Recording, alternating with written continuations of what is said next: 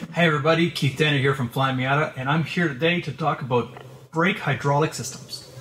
This is going, not going to be a video on what is the best the best brake fluid to use in your Wilwood calipers. I'm sorry if that was what you tuned in for. What we're going to talk about today is how a hydraulic system works in terms of sizing, what's the math behind it, the interesting nerdy stuff, not the boring, you know, use part X if you want part Y kind of stuff. That's and we talk about that all the time.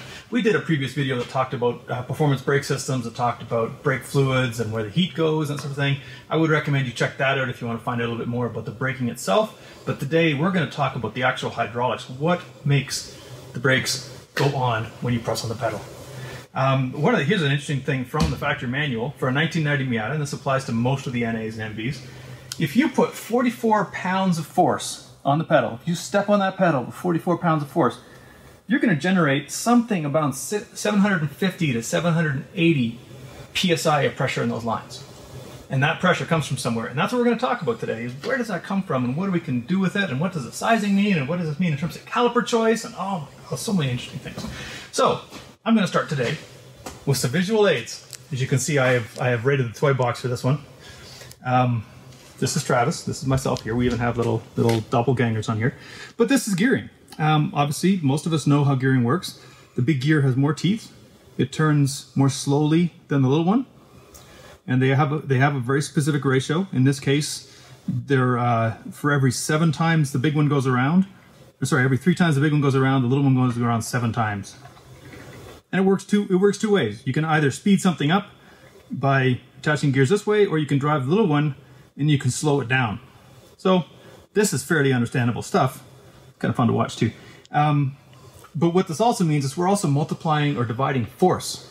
So if we're putting, say, one pound of force on this thing, or say three pounds, let's make the numbers easier. With three pounds of force on this thing, we're going to get seven pounds of force at the other end of this of the lever on the other one. That's what this does. This is multiplication or division of force. And I'm going to apologize to all the physicists and engineers out there. I'm going to play a little loose with some of my uh, some of my terms like pounds of force and that kind of thing. I will forget occasionally. My goal here is to get the concepts into play. So if you are currently almost about to stroke out because I used the force, the term force uh, incorrectly, I apologize for that. Um, we're looking at concepts here. So yeah, this these things basically you're trading speed or distance for power or force, um, and that is basically how gearing works. And we all, this is very easy to understand. This is how your transmission works. Um, there's a lot of things in a car that use this, but you don't think about it being used in the braking system. But this is a direct analog of how hydraulics work. So there's another way to do this. I haven't quite got out to my seven turns yet, have I? Come on. Ah, anyway, no, this also applies to levers. We need to get little Travis, little space Travis to turn around and look at this. There we go. Um, this is a lever that's that's attached here and if we look at the ends of the lever, this part goes further than this part. And you also have the same thing with force. And this actually happens to be the same ratios as those gears do. This is seven units. In this case, each hole is a unit. This is three units. And if you look, I put some little markers on here. If I start off here, this is lined up with a marker. I swing it over this way. This is lined up with a marker. This one goes seven times for every three. This one, th seven units for every three this unit goes. So basically, you're going to end up with that same multiplier in there. If you put um, three pounds of force on here, you'll end up with, uh, sorry, yeah, three pounds of force on here, you'll end up with seven on here because you're multiplying by the, uh, by the lever that's on here. Again, leverage is something we understand. If you're having trouble getting something to move, you get a longer pry bar, you put a cheater pipe over the end of your jack, you know how that works. Stuff breaks. Um, it works both halfway up the lever or on the other side of the pivot. These two little guys are both the same distance from the pivot and they both work the same way. So this is basically a direct equivalent to this. It's just gearing. You're trading off distance for power multiplication, force multiplication, whatever you want to call it. And the same thing applies to hydraulics. This is a fun little thing I've put together. This is a big piston. This is a little piston. If I move this a small distance, this one moves a big distance. I'll do this the other way. If I move this one a big distance, this one moves a small distance, but it pushes really hard. And this is the brake system right here. This is what we're dealing with. If I actually, and this would be fun, everyone here get in line, you can try this after class. Um, if I'm trying to hold the big one down while I push on this, it's actually pretty much impossible for me to do. because I've got so much mechanical leverage here. It's about a six to one ratio between these two. Um, so much mechanical leverage or, or hydraulic leverage to lift this thing up. And this is what brake systems work off, is this difference in, in force versus travel um, based on, in this case, piston sizes. So let's see how some of this stuff applies to a braking system. We'll start right here. This is a clutch pedal, but whatever. Brake, brake pedals and clutch pedals, same thing. Um, this is a clutch pedal from, I don't know, NA or NB Miata, something I pulled off the shelf. And you can see that this is where you put your foot, obviously, we all know this part. And this is the push rod that, that activates the master cylinder. And you can see it's attached part way up. There's, there's the pivot up here. Here's the uh, point where the push rod's attached. And here's where you stand. It's a 6.13 to 1 ratio. I got that number of the factory manual. 6 to 1, basically. So if I move this 6 inches, this push rod will only move 1 inch, but it will have 6 times the force. It's going to multiply my force by 6 times. So right there, all of a sudden, your, uh, your 44 pounds of force, for example, here, has been multiplied by 6 on this one. On a brake pedal, it's actually 4 to 1, 4.1 to 1, but it's the same concept. I just didn't have a brake pedal sitting around. So that's the first part. There's our lever. We talked about those already. Next is our master cylinder. I just I had a master cylinder on the shelf, so there you go. There's a master cylinder. And what a master cylinder looks like inside is this. It's got a push rod. It pushes in here, and that's that thing that's sticking out of the pedal. And you can't see it. There we go. And it's got a piston that moves up and down. So when you push on the push rod, back and forth, that piston moves forward and pushes fluid out. Or it pressurizes fluid, honestly, which is what's happening a lot of the time. There's not really movement, but you can think of it as movement. It gives you the right concept. So this is effectively what a master cylinder looks like. And then on the other end, in a caliper, you've got a piston as well. There's a piston in here. This is a four piston caliper, so it's got four pistons, but it's the same concept. These are basically just like the master cylinder, but turn around. Those are pistons you put fluid in one side, and they push out, they move in their little bore. So that's the fundamentals of what's going on when you step on your brakes. You've got a lever that's pushing on on a master cylinder that is pushing fluid all through here and that is that is applying to your brakes. And they're sized like this. The master cylinder is little, the brakes are big, and so you get a lot of travel and you gear it down into a big stump puller of a gear that puts all sorts of force into your brake pads. Can't see it going very far, but trust me, it is moving. This is a fun thing. I just put this together today. I've been playing with it. Um, that is simple green, not real brake fluid, by the way. So if there is a if there is a spill, don't fear for my life. Um, okay, so you can actually take all of these ratios and you can figure out how much pressure there's going to be on the pads based on how much pressure you put on the ends of uh, put on the pedals, given the sizes of everything. So what does this mean in terms of working with your brake system? Oh, I should I should talk about the actual ratio on these things. If you want to figure out the ratio of movement versus force multiplication, it's about the it's about the area of the pistons, which is you know pi r squared. I'm sure you remember that one from high school. Uh, but basically, a um, a bigger piston will move. You know, if this is the one the input, it'll move a lot of fluid, but it's going to be hard to work. A small piston will move it slowly, but it'll be easier to push because you can basically look at if you put say if you put 100 pounds, well, if you put 100 pounds of force on this and it has one square inch of area, you're going to end up with 100 psi of pressure. If you put 100 pounds into a two square inch, you'll end up with only 50 pounds per square inch because you've got two square inches, 100 pounds on it, 50 divided by, or 100 divided by 2, 50. So that's basically how your multiplication works. I'm sure the comments are full of all sorts of high school science teachers who are just going, oh my god, stop talking. But there you go, that's what we're dealing with. Um, so, what does this mean in terms of your brake system? Well, it means you can use some of this multiplication to change the brake torque at each wheel. You know, if you want more rear braking, you can affect that by either increasing the amount of pressure on the back brakes, which is what's done if you're messing around with proportioning valves, you're usually changing the pressure up there, or you can do it by adjusting the size of the pistons in the back brakes. Bigger pistons means you're going to get more force in there, but it's going to take more fluid to move them, so your pedal's going to be a little softer because you, oh, you can't get away from that trade-off of travel versus force um, versus multiplication. So, for example, the sport cars. This is a, a, caliper off, I think it's off an NA. Um, well, it is off an NA. I, th I, think it might be a 1.6, but whatever. It's got a one and a quarter inch uh, rear piston. Um, the sport brakes, they had bigger pistons in them, so you could basically squeeze harder. And, uh, and they were one and three eighths, I think. So because there's a square in there, pi r squared, um, the uh, the amount of force goes up much quicker than you'd think with a change in diameter. It's amazing how many of these talks turn into pressure, isn't it? I'm all about pressure. I hadn't realized that until we started doing this. So if you are, well, we'll look at this. We'll look at these. Um, this is a four piston, obviously. Uh, it's got, I, I don't, this is for a replacement for a front. The front pistons in a stock Miata caliper are two inches in diameter. This one, in order to keep the same overall size, and so you don't end up with all sorts of jacked up portioning, you don't end up with like a really squishy uh, brake pedal, they are sized so that the uh, the piston area works out the same. This is one and three eighths. If you do the math, it works out to very close to three square inches of area, which is basically where a two square inch or two inch piston ends up. Run the math, it's there, but effectively, twin one three eighths are equivalent to one two incher. And here's a kind of a fun thing on an opposed piston caliper like this, you only take into account one side because each of these is moving half as far. You're only doing half the work, so you only pay attention to one side. On a sliding caliper like this, it's only got one piston, you do that. So one piston equal to two piston. That one can catch you out. Um, so you want more front brake power? You can put in a, a um, you can put in a caliper with bigger pistons, but you've got to watch that trade-off. You've got to trade off the distance, how soft your pedal is going to be. Now there's one place where you can cheat on this, um, and that is the booster.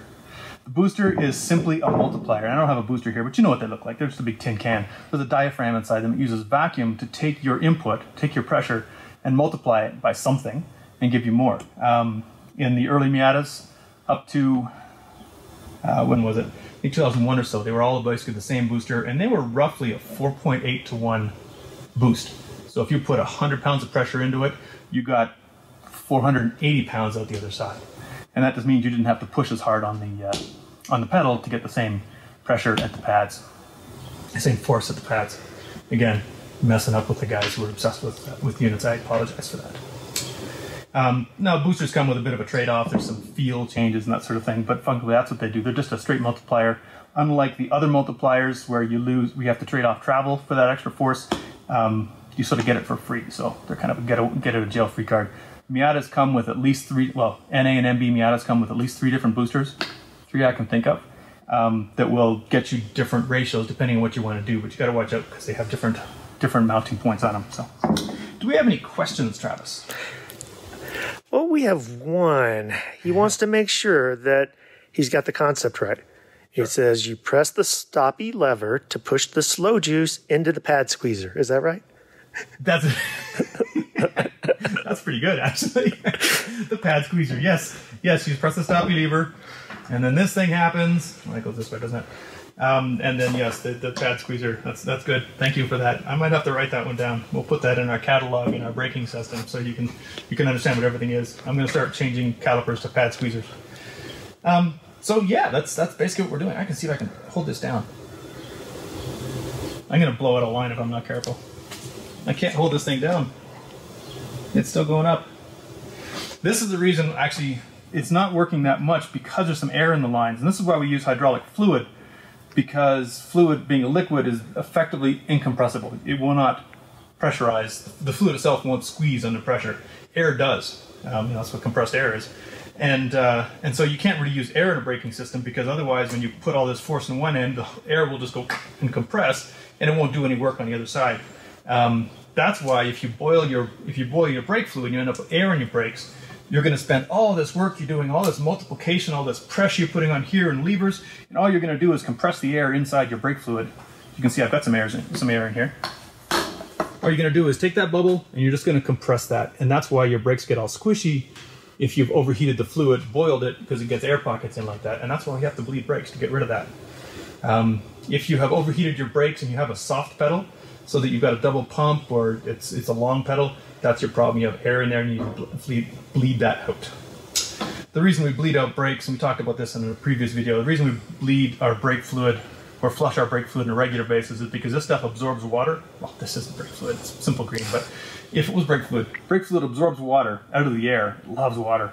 And uh, the more water absorbs, the lower the temperature at which it boils, the more likely you are to do that where you have a where you boil it you end up with air bubbles, and then you discover that usually at a bad time that your brakes don't really work as well as you kind of like them to. So that's that's preventative maintenance. But once you've got that bubble in there, you've got to you've got to bleed it out.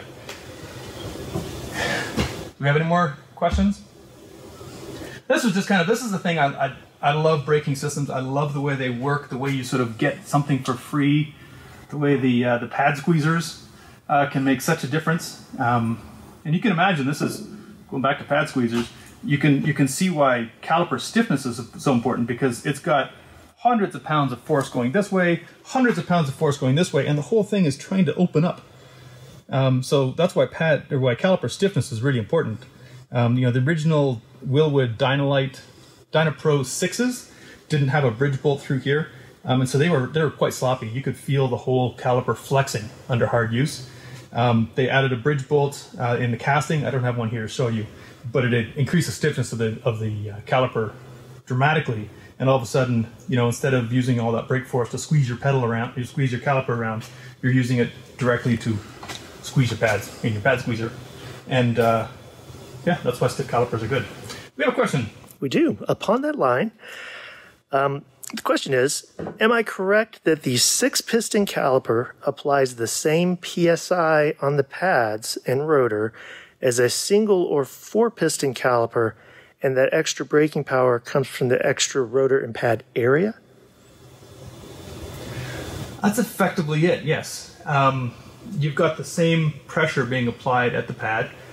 PSI of the pad on the actual uh, on the actual rotor itself is going to be lower because you're putting the same pressure on it, but it's got a bigger pad.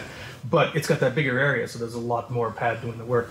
Um, so yes, effectively, uh, the reason you're getting the big thing you get out of a six piston is not so much you do get more braking torque out of it, but the bigger difference is you've got a much bigger heat sink. That huge pad can absorb a lot more heat. Um, and heat, as we've talked about earlier, is a real enemy in braking systems. Um, now, one thing that's actually interesting about the six pistons, I wish I had one to show you, because the pads, when you're, you know, the rotor's going around like this and the pads come in, they kind of get squeezed this way. And it's, it's the natural tendency. To have, and if you've ever had an old bike with, uh, with the old squeezy style brakes, you could actually look down and see those things pull forward whenever you put the brakes on. They, they'd sort of work like this. You had to, you had to pre-position them ahead of time.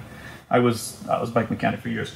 Um, the uh, six piston calipers actually do that because the pad's so long they have staggered bore sizes. They will have different sized pistons in different places to sort of compensate for the pad trying to go this way. They'll push harder on the front, and keep it flat. Um, it's actually a neat kind of piece of engineering, but it also means that you have to pay attention when you install those. They will have a left and a right. It's an important left and right, otherwise you're gonna you're gonna end up with very bad pad wear, for example, if you get that backwards. I am making a mess with brake fluid. It's impossible to get the brake fluid out of something completely. But it's good simple. It's good uh, super blue, so there you go. Any more questions? No? Well, I thank you for, uh, this will be a fairly short uh, Facebook Live today. I thank you for your attention. This basically gave me an excuse to, uh, to get out the old um, technical Lego. And for those of you who are of a certain age, you might recognize these old colored gears. I use them because they're more visible. Um, they haven't been around for a while. But, uh, but yeah, give me an excuse to get out, to break out the Lego, to take it away from my little nephews. And um, yeah, I, I strongly recommend, if you have access to a couple of syringes, this is really kind of fun. Being able to play with this, it's like this is the most visible demonstration of how a uh, how a master and brake, or master and uh, and slave works. Uh, this works the same way in your clutch system, by the way. You your master cylinder, your slave cylinder. There's some multiplication going on in there, so that you can actually push the pedal hard enough to release your uh, your clutch. We actually had a problem. The old uh, Westfield Miata-based seven kit cars. Uh, they were designed to reuse a bunch of different stuff. You could just take a Miata donor, kind of like the Exocet, and build a, a 7 style car out of it. But they screwed up the math on the brake pedal. So the, brake of the clutch was one of the two pedals. I think it was the clutch. Um, they screwed up the math on it. The pivots were in the wrong place, and you could not release the clutch. And they said, well, you just gotta get a different master cylinder. But clutch master cylinders in clutch sizes are a little difficult to find. We couldn't find one the right size. And so what we had to do was we actually just had to drill a hole in the clutch pedal and move the pivot to a different place to change the uh, change the ratio. Um, the guys at Westfield never acknowledged that. They, there's a bunch of Westfields running around that don't work properly because their clutches don't release properly. But um, yeah, that was just a matter of knowing how the leverage works, knowing how the uh, how the, the actual lever works, and just changing that. We have a question there, Travis. Maybe a little off topic, but um, someone wants to know what your thoughts are on manual brakes. Manual brakes. Basically, that's the brake without the magic booster in the middle. Um, honestly, on a lot of street cars, I think it's an affectation. Uh, I can see it being useful on a on a race car. Uh, one thing about racers is that they will always take a very firm pedal with very little slop in it that takes a lot of pressure. They prefer that over a long pedal that feels soft. Um, a lot of street cars, like you, you get in a Volkswagen Golf or something like that, you'll feel, you jump in it, you touch the brakes, and it just kind of grabs hold really hard. You think, wow, this is strong brakes. And some of that is done by simply putting a really big booster in there, but some of it is done by allowing the pedal to go a long distance to give you lots of clamping force the pad squeezer. Um, racers don't like that. They like the, the reassurance of hitting the brake pedal and being nice and firm and right away, and so they tend to bias towards big master cylinders. Um, you know, it's okay if you have to push a little harder because you're all full of adrenaline because you're on a racetrack anyway. Um, and that's, I think, where some of the preference for manual systems comes from. You do get a better feedback on it, and I have built cars with manual brakes. Um, I built a Lotus 7 replica myself years ago, and uh, on that car, I did use a manual brake setup, but I did change some of the ratios. Uh, it was based around a Miata system, but I did use some different master cylinder sizes. And I also used a four, a six to one pedal instead of a four to one pedal to give myself some mechanical advantage. I'm not a big fan of simply taking a Miata and deleting the booster and bolting the master on there. Just you've got to step on the pedal five times harder to get the same retardation unless you change out the master cylinder. And uh, on a street car, I think it's mostly done because it looks cool, and it's not not my first choice. So, um, yeah, there are certain certainly some places where they can be used, places where you don't need a lot of brake pressure. That uh, seven I built uh, only weighed 1,200 pounds, so it didn't really need a lot of retardation to get it to slow down in a hurry. Um, my little Mini that's uh, right here beside Travis does not have a booster on it because again, it doesn't weigh squat. Get my turkey hat put out there. Uh, it doesn't weigh anything, so it doesn't need a whole lot of help. Um, it's also got uh, disc or drum brakes in it, which in the back, which are also technically very interesting in terms of they are self-energizing, but they are not used on Miatas, so we are not going to talk about drum brakes today. We have another question, guys. One last question. What about brake boosters and boosted applications? If you track it, you'll almost never get the manifold to vacuum. So brake boosters work off engine vacuum. That's that's the power they use for your multiplier. So if you do not have a vacuum source for your brake booster, it will not boost your brakes. Um, so there's a check valve in there. There's uh, if you ever feel up the you feel the line that goes into your brake booster it's got a it's got a lump in it like a snake that swallowed something. Um, and there's a little arrow that's often on the on the factory cars. I think it's even marked with a white mark, and that's a check valve so that the engine can suck basically suck air out of there. It can create, it can pull a vacuum in the in the booster, but say when you're full throttle and you don't have a vacuum in the intake manifold, it doesn't leak back out again unless that check valve's broken. And so the question is here: What about boosted cars that never go into vacuum? And I, you do go into vacuum the moment you lift off that throttle and you close the uh, you close the throttle and you hear that blow off go, and you are applying the brakes with your foot off the gas. You are producing vacuum. Um, and if you are at any point not basically generating boost, you are creating vacuum. So if you have a boosted car that's running around on the track and you're not able to keep your booster working, I think you've got a problem. It's not a fundamental problem because the car is boosted. Um, I think the problem is your check valve's not working or your booster is leaking or something like that because you do every time you are not actually in boost, you have you are pulling a vacuum and that should be helping out. Cars with really big cams um, can be a problem. And actually, here we go. The ND Miata has a built-in vacuum pump because the way that car works, if you own an ND, you've heard that terrible noise it makes on startup. The first 30 seconds, it's making this nasty ah noise. At that point, it's got its throttle opened all the way, and it's retarding its valve, its um, its cam timing to bump as much heat as possible into the into the uh, catalytic converter. And it'll do this at cruise sometimes too. You don't know it's doing it. Um, that's a very smart engine. It's doing all sorts of tricks. But when it's got that throttle plate all the way open, it's not generating a vacuum so it cannot uh, it cannot help the booster. So that car actually has a vacuum pump to sort of supplement the booster um, in those situations. So that when you first start the car up, if you're the sort of person that jumps in your car, fires it up, heads down a mountain road, then immediately hits the brakes at the bottom of your super steep driveway, um, you may not have any vacuum yet. So it's got a little vacuum pump to help you out. And that's also something that's done on cars with really big camshafts, um, cars that don't pull a lot of vacuum. Um, my my V8 Miata doesn't pull a whole lot of vacuum at idle, uh, so again, it could use a vacuum pump if I was going to do that situation where I would go screaming down the mountain road at idle the entire way down. But when I close the throttle and decel, it pulls enough to, to give me a booster. I've never had to mess with that. I hope that answered the question. It was a little bit of an information dump there that uh, that might have been too much, but short version: boosted cars should still be able to have brake assist on the track unless you've got some ridiculous camshaft in there. Anything else, Travis? No more questions. I hope this was interesting. I hope this was educational. I hope there's at least one person out there who's going, ah, okay, okay, I get it. That's interesting. That's good. Um, it's kind of fun. If you go shopping on the Wilwood website, for example, they have calipers listed specifically. They list the area of the caliper as one of the uh, one of the factors, one of the um, one of the attributes of the caliper, and the reason for that is so you can do your sizing. Um, I've I've done a custom brake setup for a Volkswagen Vanagon that had a very specific size booster and a very specific size um, master cylinder, so I knew you know I had to hunt down a certain uh, a certain size caliper to make that fit. There weren't very many options in that particular size.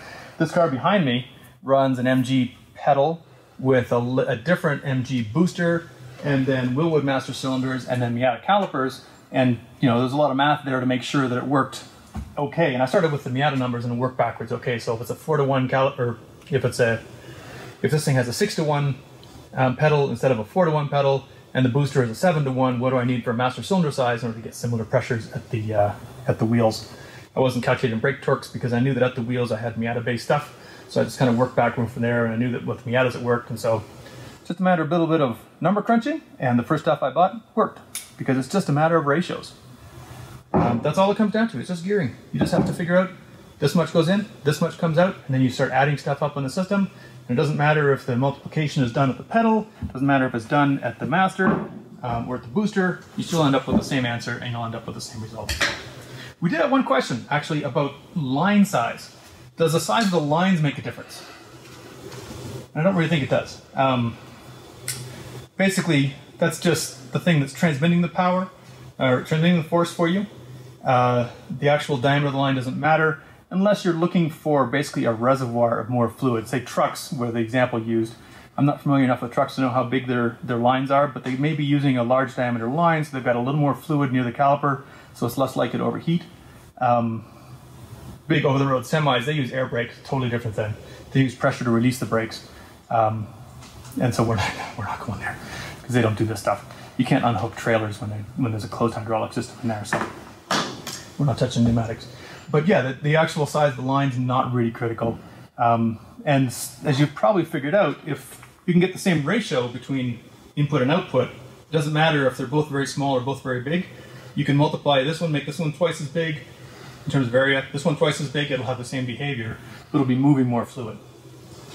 There's reasons to do that. Um, there's reasons not to do that, I'm sure. But uh, basically, the industry has settled on certain more or less consistent sizes. So it gets if you try to get too far out of the norm, it gets weird. It's hard to find master cylinders with a certain size range. Whee! First time I tested this, I actually launched that thing across the room because I had to travel a little bit off. It was a little messy to do some cleanup. Again, if you got a kid doing a science fair experiment, this would be a good science fair. It's, not, it's engineering, not science, but whatever.